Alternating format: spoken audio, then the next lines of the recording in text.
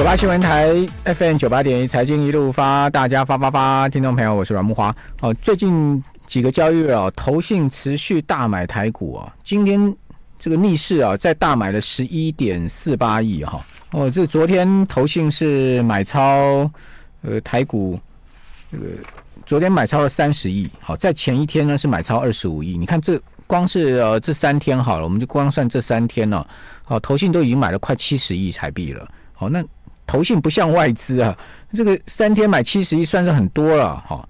那外资呢，则是呃出现跟投信好像对坐的态度哈。呃，今天是连续第二个交易日卖超，好卖超了一百四十三亿哦。外资今天卖的很多了哈，所以三大法人呢，呃，扣掉这个外资跟自营商的卖超啊，投信这个十一亿的买超根本不够看了哈。三大法人合计卖了一百八十一亿哈，因为自营商今天也加入卖超，卖超了有五十亿之多哈。哦，所以投信这个一人独挡这个大盘的逆势啊，是无法这个阻止的。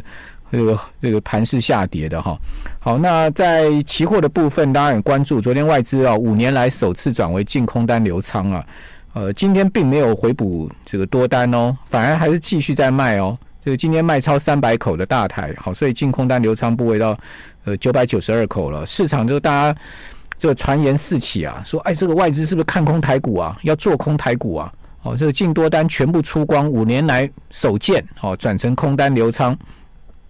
好像我们昨天节目也有讲嘛，其实原因很多啦，不单单是指数现在在高档嘛，哈，另外一个原因就是因为台湾五十反一，哈，外资十一月以来啊，好，这个卖掉，我今天查了一下，十一月八号了，我们从八号来算了哈，呃，到昨天呢，总共卖掉一百七十万张了，好，所以说它的多单顺势也要做一些出场，这也合理了，好，另外新加坡跟香港都有台子期的新商品上架嘛。好，所以外资可能呃转一下市场到那边捧捧场，好也有可能，好，所以不不见得一定是呃这个全面看空台股了哈，倒不必呃先行这个下这个结论哈。好，那今天我们来看到法人是在卖方哈，整体而言，那亚洲股市今天呢相对也比较走势差一点哈。那日经指数今天中场是小跌百分之零点二三，好，日经指数跌了六十一点。哦，跌幅不大，好收两万六千七百五十六点。呃，韩国股市呢是下挫百分之零点三三，收两千七百四十六点。哦，所以感觉起来好像台股相对哦，这个今天跌势比较重哈。好，因为台股今天呢，呃，跌幅有一趴，哈，加权指跌了一百四十点哈。另外，贵买指跌幅还超过一趴哦，百分之一点一七的幅度啊，呃，跌了二点一三大点。哦，加权指跟贵买指今天收盘都双双破了五日线了哈。那另外，香港恒生指数今天跌幅也没有台股大，好，恒指虽然说下挫哈，呃，但也只有跌九十二点，跌幅也仅仅有百分之零点三五。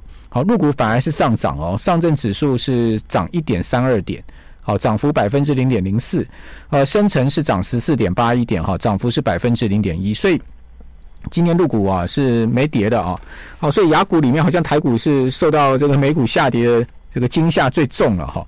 啊，是不是台股有点过度反应呢？还是因为台湾，呃，最近股市的走势相对的强哈，是顺势做一个压回呢？哈，这个当然各种可能都有。不过我们看到这个今天十一十一月营收全数公布完毕哦，哦，其实整体而言，这个十一月营收上税公司缴出的成绩单不差哦，哦，这个所以在这个基本面的这个利多助长之下哈，是不是就一天能止跌？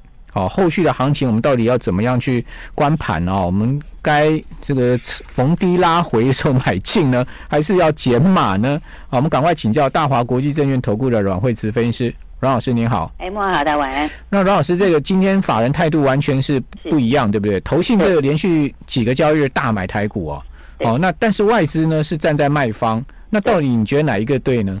嗯，我觉得应该是这样讲，就是说外资因为现在是在。它就要放假了哈，那所以 外资动作来说的话，在近期的话，它会比较是保守一些哈，就是说，呃，大家多单的部位会收一些，空单的部位也会收一些，呃，就是说基本上它就是放假哈，然后准备来去呃过完年以后再重新来布局。好，那最近来说的话，我觉得法人的话，内资的话呢，那么他们反而是现在是开始在买明年的东西。那加上就是说季底哈，包括年底的做账也渐渐逼近了。哦，所以的话最近你会看到呃投信的动作就比较积极。好，那自营商的话，那就另外一回事。好，因为自营商它本来就比较容易随着盘面上波动比较大。哦，所以我觉得整体来说，嗯，我是觉得比较好的股票的话，大家应该是要跟着投信去买。好，因为十二月底的话，十二月这段时间本来就是去买明年的展望。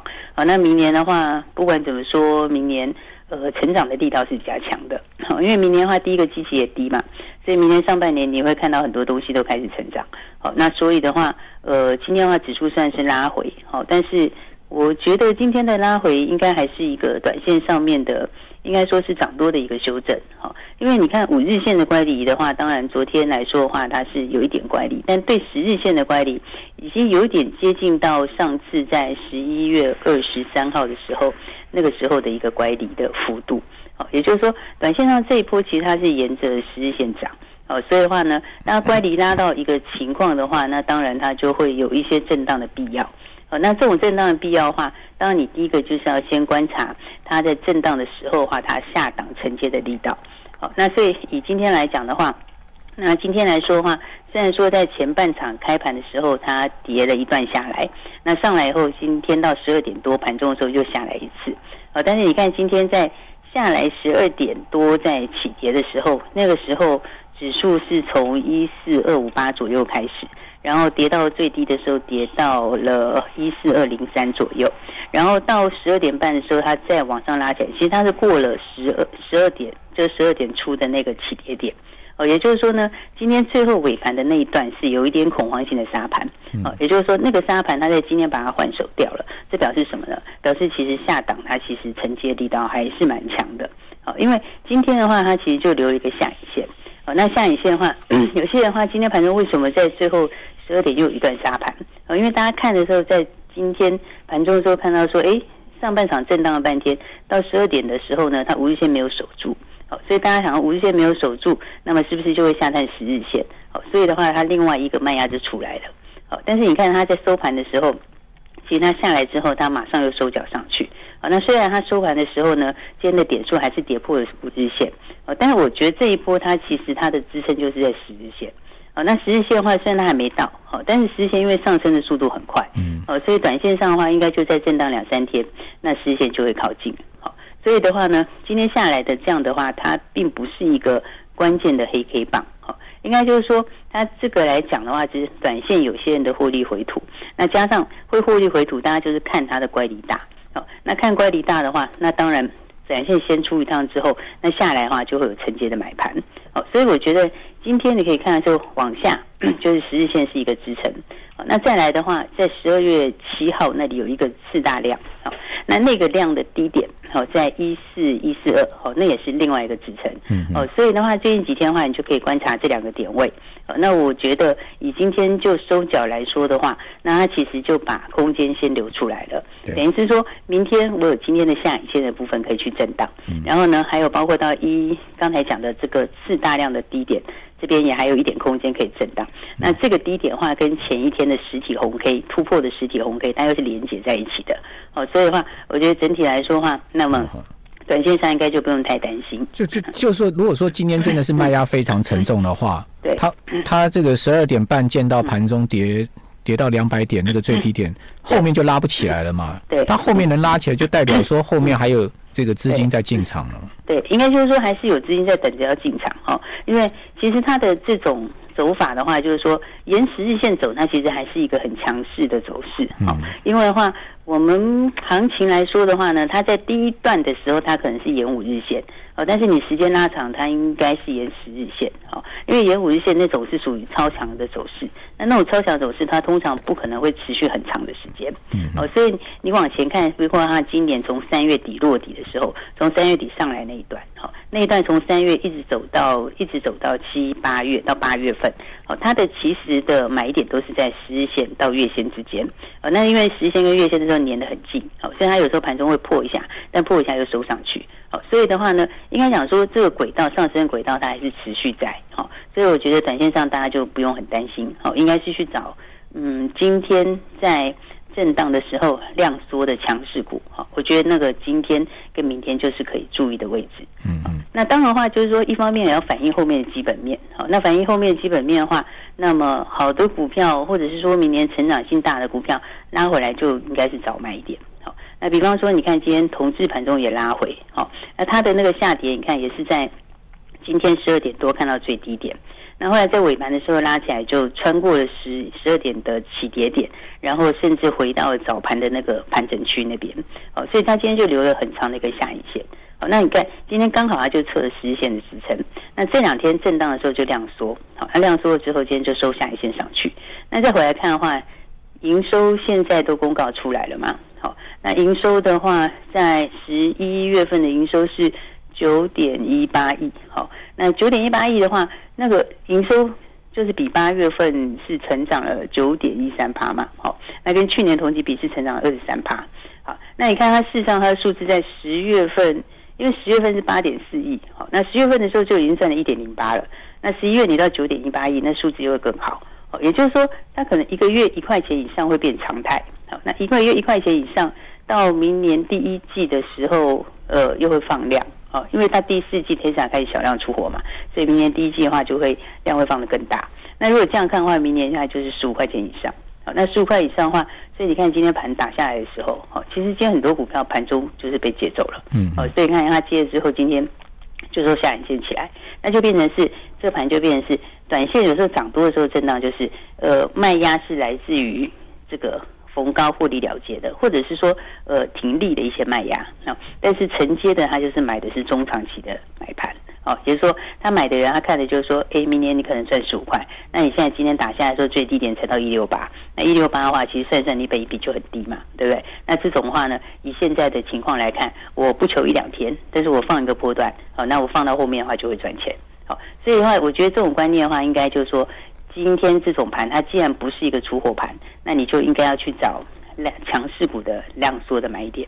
好，那强势股量缩买点的话，我们从数字来看的话，比方来看看微钢。好，那微钢它今天的话，盘中呃早盘它还蛮强的。好，那下半场有一些拉回，那拉回的话，今天差不多到五日线这附近。好，那今天头信也买。好，所以的话呢，那我们再从数字看，好，因为十月份有公告是零点八六。等于一个月赚了八毛六，好，那股价七十几。那十一月份的营收是上去八点零六趴，好，月增八点零六。那十二月份是记忆体开始涨价，好，所以你从这样看的话呢，那其实明年也是随便十块以上，好，应该有机会是走到十二块以上。好，那如果是这样的话，我觉得整体来说的话，它拉回也是应该要早买一点。好，所以很多股票就是说，嗯，震荡的时候，我们应该去看它明年的基本面呐。哦，因为毕竟今天已经十二月十号了嘛，那十二月十号的话，现在的情况就是说，我们今年是一个，人家说是一个 K 型复苏，好，那 K 型复苏就是往上的那个 K，就是上面的那一撇啊，哦，那一撇的话就是今年的一些防疫的股票，好，那或者是 NB 啊相关等等之类的，那那个是今年好的，好，但是呢，到明年它可能基期就高了，好，再加上明年的整个数字就不会有今年这么好，对，那那一块的话，你看到那个是真正。我觉得应该要调节的部分，好，那另外的话，那个 K 字的下面这一撇，哦，就是呢，今天有一些受到延后的，好，那些话，我觉得就是明年会上来，好，所以的话，人家就会想说，因为明年五 G 会上来嘛，对不对？然后电动车也上来嘛，那再来的话，AI 也上来嘛，那其实伺服器最近也传说要慢慢要回来啦，好，所以的话呢，那一些前面有递延的，到明年它还是会回来，所以就会变成是你把数字抓一抓之后，明年数字好的股票。哦，它在这几天的时候，你会发现，现在很多股票它是从低档的时候整理过之后开始涨。哦，就像我刚刚讲的，像威刚的情况也是这样。哦，它就是前面的时候所有均线都连在一起，然后十二月才过了，才过了年限，然后才正式开始拉开年限。所以像这种话，就是说，我觉得明年来讲的话，很多元件确实会缺货。就像现在的话，你看那个。那个钢铁也是啊，钢铁也是最近涨得很凶嘛，对不对？那钢铁的话，法人买最多就是大成钢，对不对？大成钢，对，因为它就是有那个低价的那个库存呐，哦，所以的话呢，几个比较有低价库存，像是大成钢啊、星光钢，哦，这些中红也是，哦，这几乎都是有，哦，所以的话，资金其实还是一直在买明年的展望，只是大家在不同的族群里面去轮动。啊，那轮动的时候，当然你不一定要去追已经涨上去很多的，可是你可以趁他们拉回的时候去找买点。所以这种情况的话，我觉得呃这几天应该就是找好股票来布局。好，那刚刚讲到说像是像记忆体的部分，好，那记忆体的部分，呃三零零六金豪科也是好，那金豪科就是一个很明显的上升格局。所以你看它的走势，它也是所有的均线，它在十月、十一月的时候才才才汇集在一起。那等于它到十一月下旬才开始往上突破。啊，那往上突破以后，它的走势也是上去以后，然后就停顿一下，上去以后停顿一下，所以它就一个上升的轨道。但是有时候低档再起来的股票，它不见得一开始它就会冲非常快。好，因为它脱离底部区开始往上的时候，它可能就是。走三步，然后停两步，走三步停两步，好。但是呢，像你看它拉回的时候，其实就量缩的很快，对这个跟它以前刚起涨的时候一样啊。你看它十一月底的时候刚开始起涨的时候，它先拉两根红 K，然后就休息了三四天，然后休息的时候也是量缩，啊，量缩的时候投信买，对不对？然后再上来之后 创新高嘛，然后创新高之后又休息两天，那休息两天的时候也是量缩，然后再往上又放量，好，那今天拉回，然后今天也是量缩。然后量缩又收脚，对不对？所以的话，你可以看到，我觉得法人现在都是在买明年的东西。所以为什么投信会比较积极？好，因为投信对他们来讲，你现在十二月的下半段就要到了。那十二月下半段的时候，第一个我要冲的是明年的绩效，对不对？我要冲的是年底的这个投信的一个做账嘛。那但是其实年底投信做账跟每一季度的做账又不太一样。好，因为每一季度的做账有时候它是为了那一季的数字。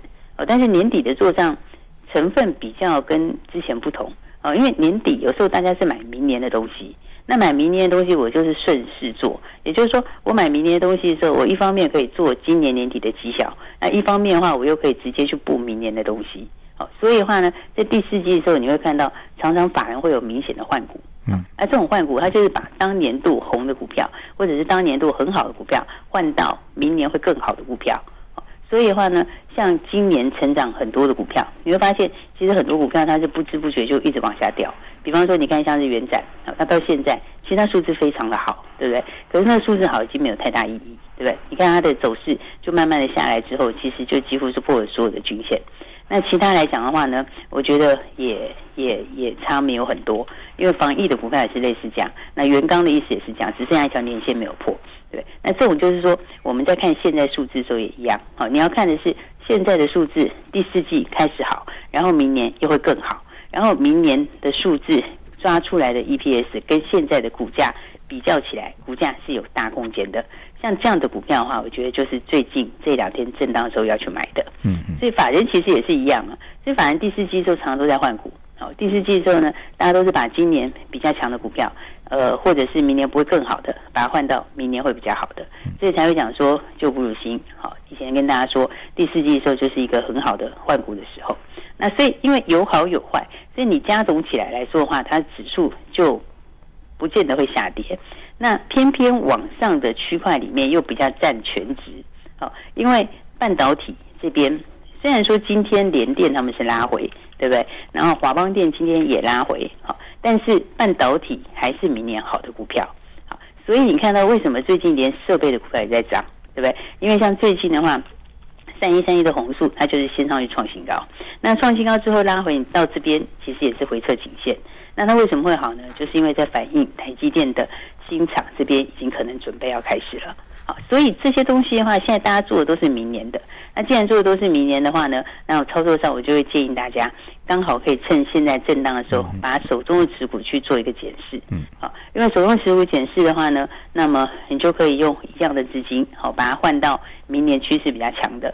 不过我觉得整体来说，明年上半年是比较好的。因为现在我们看到就是半导体很明显呐，因为半导体虽然你说它今天回。哦，联电是回没有错啦，然后华邦电也是回没有错啊，呃，但是其实他们是真的涨得很多，哦，所以他们涨了这么多的情况之下，它本来就可能会回。那你说像华邦电好了，它今天回，它今天回的时候，它在补那个缺口，那补缺口，它今天还没有封闭，它又给你收脚，对不对？今天的话呢，反而有些调节，对不对？但是它涨幅说实在话，它涨的幅度也大，对，那涨的幅度上来涨这么大之后，修正本来就是正常的，好，所以我觉得这些股票的话。在明年，其实供给真的增加的也不多，嗯，哦，但是需求增加的又多，哦，因为怎么讲？你供给上面高阶制程就几乎是台积电占了大部分嘛，是。那你其他的成熟制程没有人要扩啊，嗯，对不对？你现在要扩也没有那么快啊，对对不对？那其他的也是一样嘛。记忆体如果是讲到低润那一块好了，低润那一块的话，那么中心就被制裁嘛。然后其他的话呢，这个这个大陆那边也是嘛。但那你扣掉这些之外，还有子宫又出财务问题，所以那个东西它变，你短期之内你没有办法增加那么多的供给出来，但是需求又上来哦。所以我觉得整体来说，明年电子是好的。那半导体又占台湾很大的比重，所以你说指数会怎么样？我觉得指数。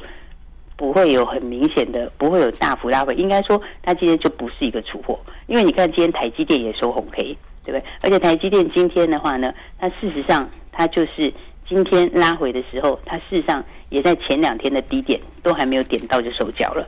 所以这种盘一直整合起来说，我觉得拉回就是应该要找好的股票去买，好，因为多头的时候在走的时候，就是说涨多它都会拉回。而且多头的关系就是它很容易是缓涨急跌，哦，它下来的时候其实很速度很快，那但是呢就是一两天，好，那所以的话呢，我会比较鼓励大家趁拉回之后就把握好股票，好，那当然把握好股票的话，我们明天会布局一档股票是十一月营收很好的股票，嗯嗯，但是买其实也不是买十一月营收。是买二零二一年的 EPS 会成长很大，是那这个也跟明年的趋势有关。那我觉得它应该会有五成的空间。那这个是跟明年的获利预估推算回来的。嗯那所以的话，如果大家有兴趣的话，今天可以先报名。好，那我们今天先打来报名，朋友明天就带你一起进场喽。好，那最近投信在买面板股买的很凶，你你会认同吗？我觉得面板也是涨价的题材，好，但是面板涨价的幅度，它后面的爆发力，我觉得会没有记忆体大，嗯，好，因为面板来说的话呢，毕竟它的供需的部分没有像记忆体这么明显的比较不足，好，所以我觉得面板来说的话，如果两个族群去选的话，我会觉得记忆体比较好。好，非常谢谢阮慧慈。九八新闻台 FM 九八点一财经一路发，我是阮木华。啊，最近有购物换屋需求的听众朋友提供赏屋讯息一则。好，台中七期豪宅品牌允匠建设首度跨区开发，在桃园 A 七生活圈啊，呃，推出了允匠大作。好，跟全球前十大星级饭店设计团队来合作哈，呃，联合打造精品饭店的住宅。好，而且。有专属的秘书服务，把它导入社区啊。那有兴趣的听众朋友可以到允将大作的 A 七接待馆来赏屋。好，那美国股市出现比较明显的压回啊，这种这个是压，这个是单日的一个压回呢，还是波段的压回啊？呃，我们来请教红利投信投资策略部的邓胜明副总，邓副总你好，主持人好，各位听众大家晚安。好，我们刚刚有听友啊，在我们留言板上留言啊，说他今天把所有的股票全部出清了。好，可见今天这个下跌也的确蛮震撼的哈。尤其指数在高点，大家当然人心会比较浮动哈。那盘中的时候，呃，十二点半呢，我看到大盘跌了两百点呢，也的确好蛮这个刺激的。好，但是后来又拉上来。不过我想今天也蛮多人就这样出场的哈。呃，当然现在出场应该还是赚钱了哈，因为你会在这边一次把股票卖掉，应该是赚钱。那当然，今天台股的压回跟美股的下跌有关哈。那美国股市呢，我们看到尖牙股跌很重哈，像是苹果跌了两趴哦，亚马逊跌更多，亚马逊跌了呃百分之二点三的幅度哈，脸书也跌了百分之一点九，好，微软跌幅有百分之一点九五，谷歌跌了百分之一点八五。那我们知道这五大尖牙股跌幅都在两趴上下哦，这个其实相对而言，第一个跌势整齐，第二个呢跌幅又相对明显。好，所以使得美国呃纳塔的指数呢，在周三回档了将近两趴哈，费半甚至回档将近三趴。那你觉得这个回档在高档出现这样的行情啊，呃，到底该怎么观察呢？我我觉得一方面啊，这样讲就是，其实，在很短的时间内，等于十一月整个月份，还有包含十二个月的呃，等于三分之一啊，等于上旬都在上涨，基本上都。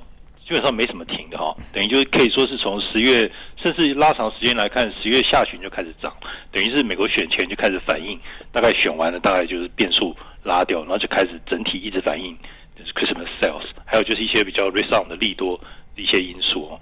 那你要是看，就是有有一个指标可以看了，就是说那个美国的家计单位它股票的那个持有的那个比例哦，这个比例现在是大概四十一 percent。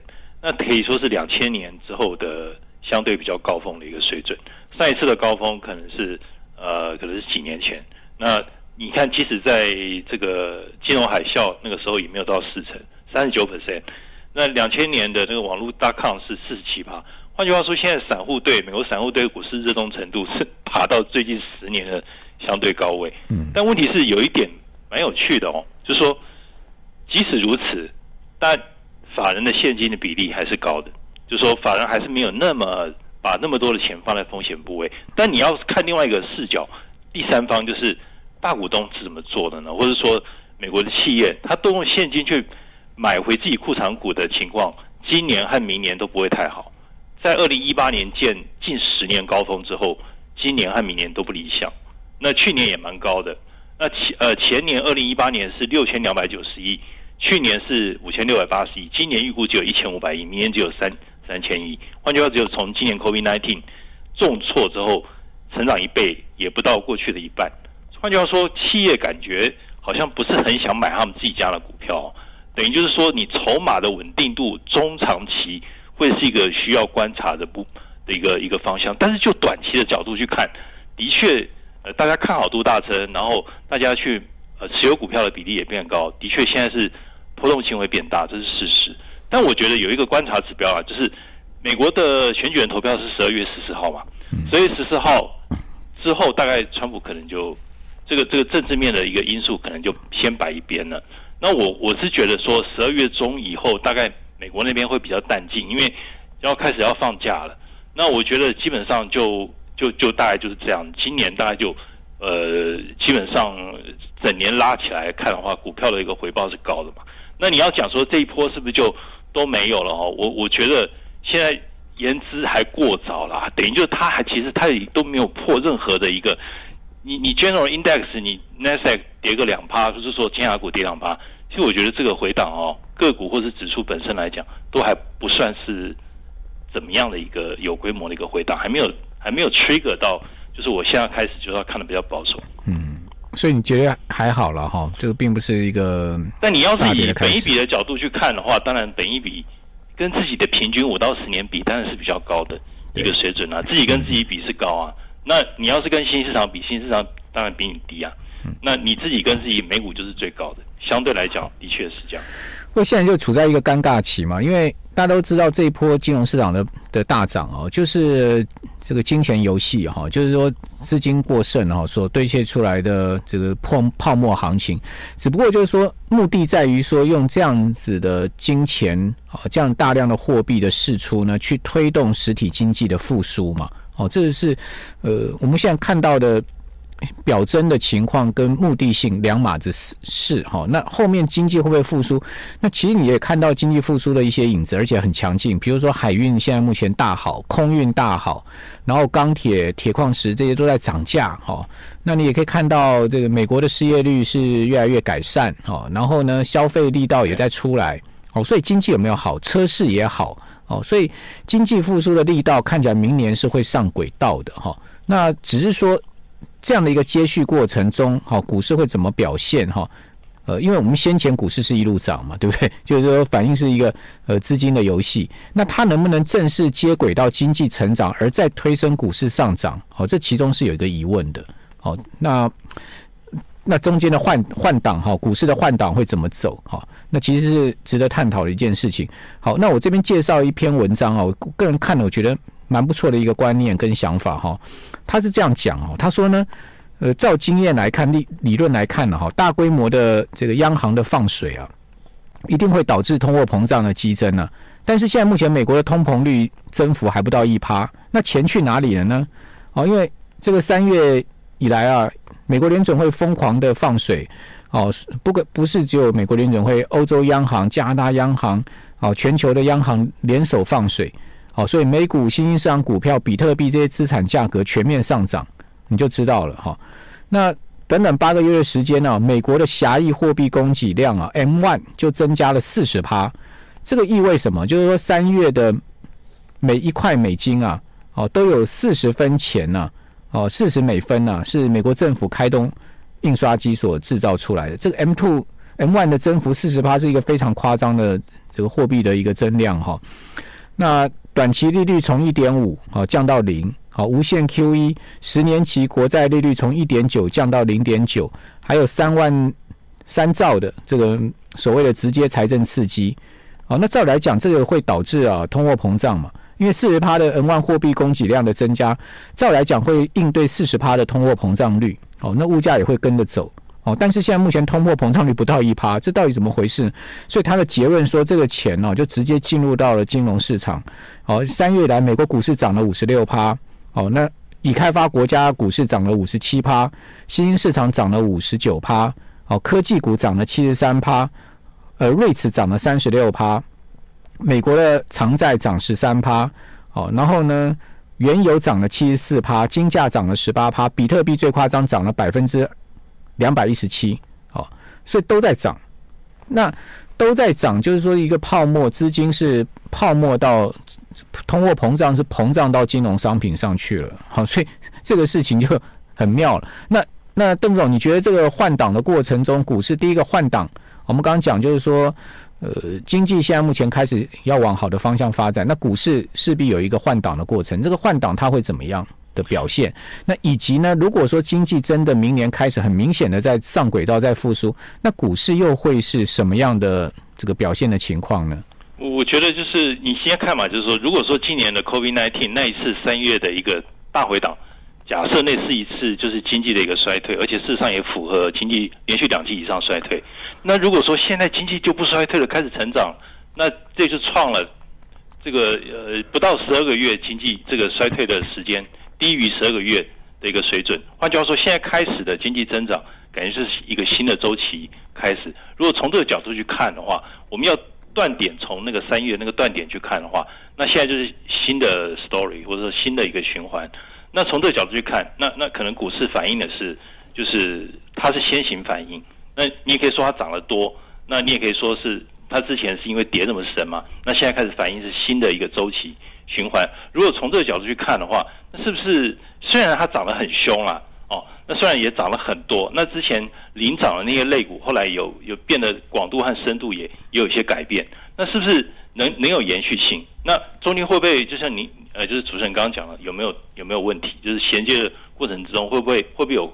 有空隙啊，就是可能大家会碰到顿挫，或者说，哎，这个结果后来企业的获利出来没这么好。可是我看到有几个指标啊，就是你看企业分析师对美国企业看好度，好像它的那个升平除以降平那个比例，就是升平的比例大幅跃升到四成以上。嗯，这个是如果是 MACI Global，顶多只有两成，都还不到三成哦。美国又是一枝独秀，你看看，就说大家说，哎，这个大水漫灌的结果，钱应该从美国往非美地方走，对不对？但事实上，他最看好的还是美国企业，嗯，然后接下来是全球企业，然后接下来才是亚洲企业，其他的新兴市场。所以美国还是高于大家平均值。还有一点就是说，你在这样的环境哦，如果说经济开始出现比较快速的一个增长，因为极其低嘛，那美债利率也事实上你也看到缓步很牛步了，慢慢上去。那美元又弱势，那这样的环境是不是因为钱又多嘛？你刚刚讲到钱很多，那如果他开始，比如说。他企业动作上，他开始补库存啦，然后他放更多的投研投下去，然后他又甚至愿意资本支出。那这样的话，整体来讲，之前那些尖牙股、成长股也不见得就一定是他惨了，没机会啊。因为你这样就代表我又不断的滚动增长嘛。那成长股，你看到实际上成长股也没有真的大跌，现在接棒的是一些之前周期性的股票，或是跌涨得比较比较落后的。滞后的股票、小型股啦，或是周期性股在追，我觉得是有一点就是广度、深度做一些改变，投资的风格改变。OK，好，我们这边先休息一下，等下回到节目现场。九八新闻台 FM 九八点一财经一路发，我是阮木华。呃，最近啊，这个晶圆代工市况非常的热哈，然后这个立基型的记忆体价格啊在上升，好，那另外面板的价格也在上升，好，这些都是景气复苏啊，好，这个需求。开始出来了很明显的现象。那今天另外一个消息呢，就是日本的工具机的订单额啊，好，二十六个月来首次呈现增长。好，所以呢，日本今天呢相关的股票啊都上涨。好，那日本是工具机的大国，对不对？好，所以像是金上啊，好，这个大卫啊，好这些呃工具机的股票呢都往上走高。好，发那发那科啦，好，都往上走高。好，那日本工具机工业会哈，它的统计数据说啊，二零二零年十一月份日本的工具机整体订单金额好，出估值了哈，就是内销加外销，较去年同期成长了八趴哦，哦是二十六个月来首次呈现增长，好，就过去两年多来都是衰退了，现在开始出现增长了，二零一八年九月以来首次出现增长。那订单额呈现增长，主要是因为北美市场以车用需求为中心呈现回复。好，车用你看汽车市场好，对不对？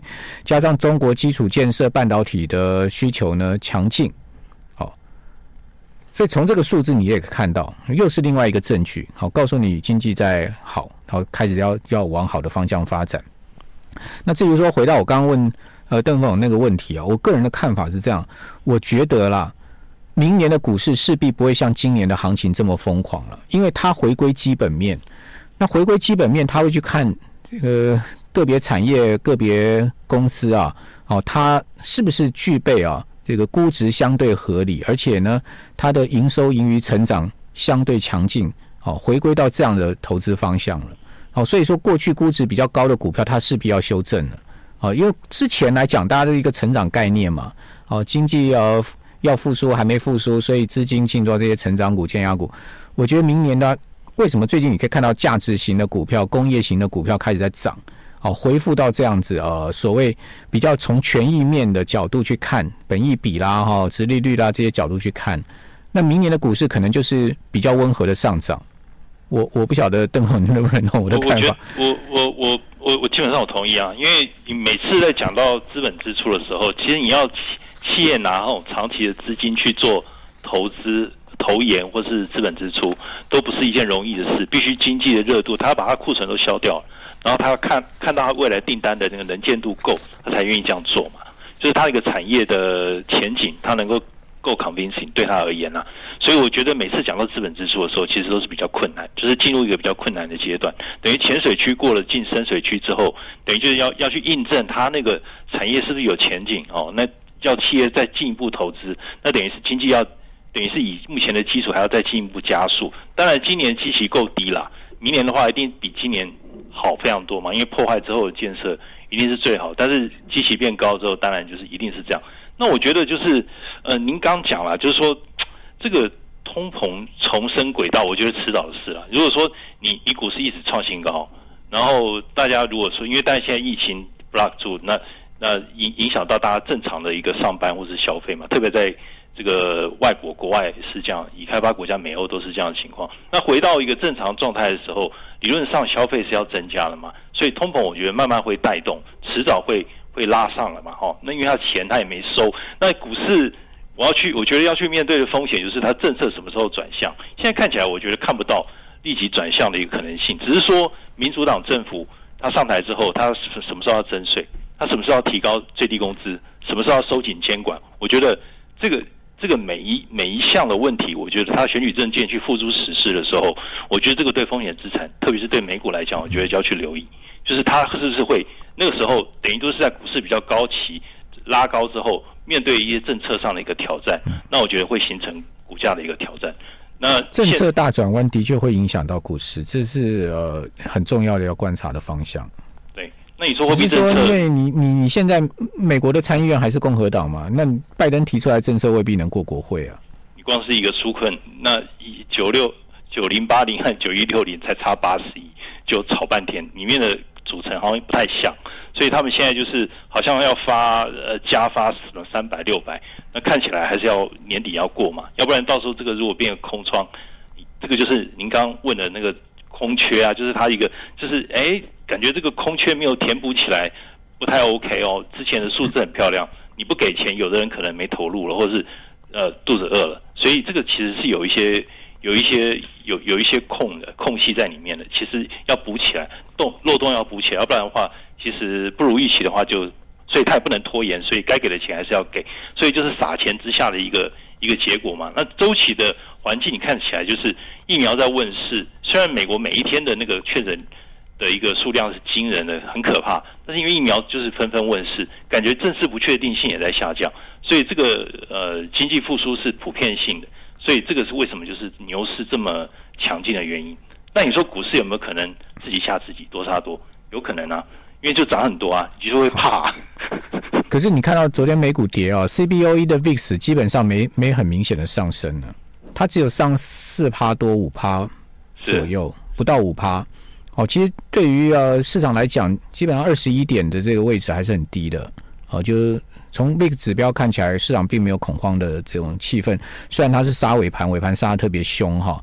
好，那您刚谈到这个振兴法案纾困方案哦，那月底有没有可能过关呢？我觉得双方喊价的结果就是差八十亿啊，不到一百亿。我觉得有机会了，等于就是呃，因为其实共和党明年一月还要再选一次，乔治还有两席嘛。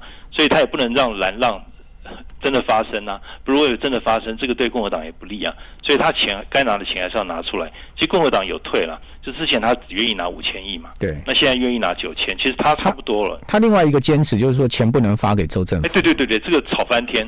那我看两边都蛮硬的，但是我觉得就跟谈脱欧一样嘛，就是你你他们硬多久了？好几个月都很梗，好几个月都谈不成，但最终。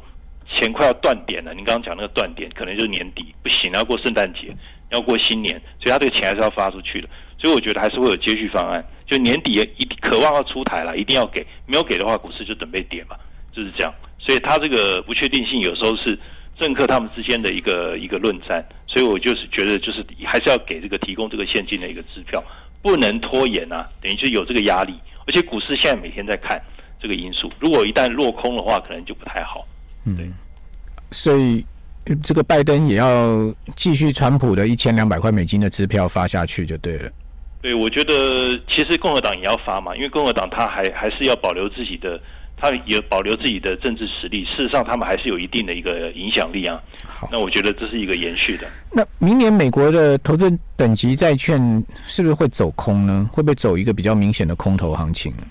的确，的确，如果以你利率的角度去看的话，那如果说，如果说你你这个 yield curve 值值域曲线是开始收窄，就是往上走哈，往上往上走。那如果值值呃，如果说十年债息，如果未来一年走到一点五以上，那现在是在零点零点九三嘛？那我觉得它利率敏感度越高的的这个主权债，我觉得的确是会受受影响。它没有没有什么明显的行情呢。那光是要靠吸收去吸引你，等于就是它吸可能要拉到一个更高的一个水准，那个长期投资资金才会进来，而且它本身也是一个机会成本嘛，就是其他的风险资产。你现在如果还是这个目前这个水准，它不痛不痒，你要拉到更高，拉到一个集聚比大家平均的预估的集聚还要再更高好几百个 bps，大家就会有感觉了，就觉得哇，你你利率拉到那么高，那我可能回头看看，我是不是股息还不够付？或者说股息不不太不太有吸引力的，我回来再买债，所以我觉得债一定会有压力，这是一个事实。但是因为钱实在够多，所以呢，它的现在你看现在出来还是有人愿意认购啊。你看那个多低的那个利率，还是还是还是要买，这是钱钱多出来。所以我觉得什么时候收钱，市场在看。那我看明年先收钱，有可能是中国这边了。中国其实它已经变得比较硬了，所以它如果二季度开始收的话，那这是什么时候其他地区？收钱有投行预估，呃，大陆明年下半年会升息，你觉得可能性高吗？我觉得第二季就要注意了，我觉得二季度就要留意，因为其实它那个放贷的那个利率其实已经往上走，所以我觉得要要要观察了。那因为中国这边的话，其实它也它方向上来讲，它其实它的数字也在往上走。那我我觉得呃，而且它比较早开始往上。OK，好，非常谢谢邓胜明副总经理。